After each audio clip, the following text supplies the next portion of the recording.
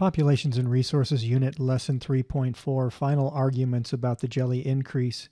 Activity 2 Evaluating and Analyzing Evidence. Scientists revise their claims as their ideas change, so let's review what we know so far. In Chapter 2, we determined that an increase in the zooplankton population could have caused births in the moon jelly population to increase. We also determined that a decrease in the sea turtle population could have caused deaths in the moon jelly population to decrease. Either of these situations could have resulted in more births than deaths in the moon jelly population, which would cause the size of the population to increase. We've also learned that the size of a population can be affected by populations other than its consumer or resource populations. In the previous lesson, we discussed how the algae population the walleye pollock population, and the orca population could have all caused the size of the moon jelly population to increase. But we need more evidence to be sure about what happened in the Glacier Sea ecosystem.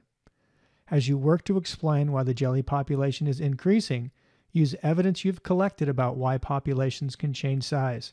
Consider evidence you gathered from sim tests and from reading articles. Evidence criterion Samples that represent as much of the whole as possible provide stronger evidence.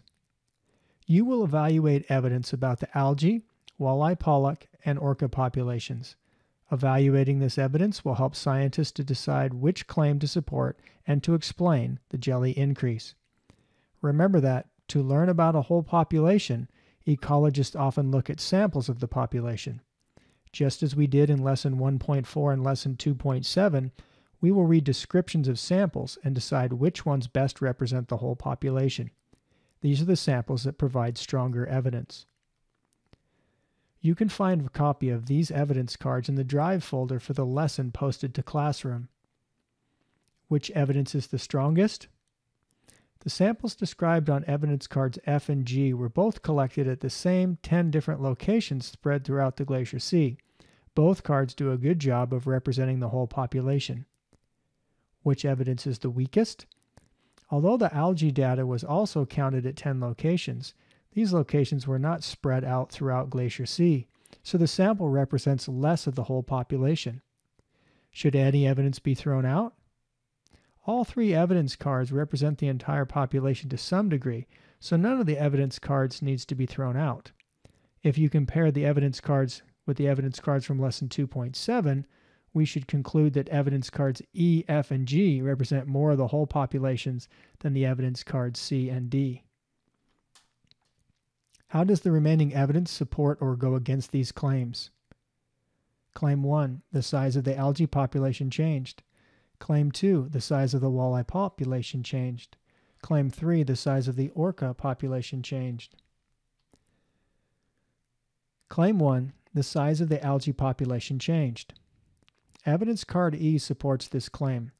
It shows that the algae population increased, which would provide more energy storage molecules for the zooplankton, allowing the zooplankton to produce more, resulting in more births.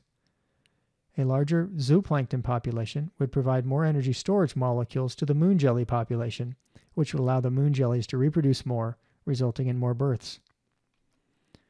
Focus on Claim 2. The size of the walleye pollock population changed. Evidence card F supports this claim directly. It shows that the walleye pollock population decreased. The walleye pollock and the moon jellies both eat zooplankton. This means that the two populations compete for food. A smaller walleye pollock population would require fewer energy storage molecules, leaving more for the moon jellies. With more energy storage molecules available, the moon jellies could reproduce more, resulting in more births. Focus on Claim 3 the size of the orca population changed. Evidence card G is direct evidence against this claim. The orca population stayed stable.